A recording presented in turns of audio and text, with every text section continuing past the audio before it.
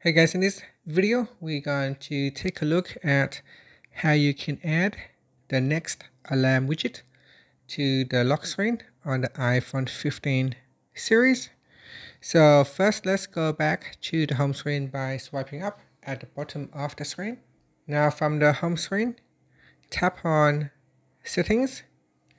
Next, in the settings page, scroll down and then tap on wallpaper then tap on the left hand side image.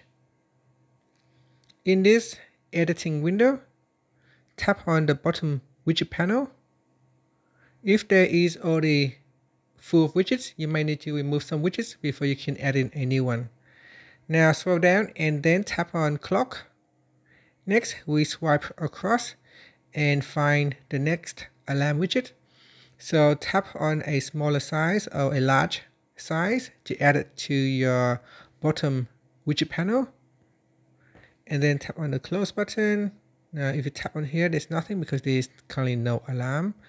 And then tap on done. And then swipe up to go back to the home screen. Now if I open up my clock and create a new alarm. So I'm just going to set up a new alarm. Tap on add button. And then the alarm will set at 1 o'clock and then tap on saved. So there is now a new alarm. So if I go back to my widget on the lock screen it will show the up uh, coming or the next alarm will occur at 1 p.m. or 1300 hour. And that's it. Thank you for watching this video. Please like and subscribe to my channel for more videos